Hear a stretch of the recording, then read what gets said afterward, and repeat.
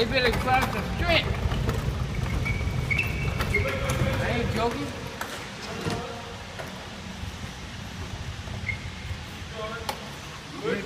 Two people all day long.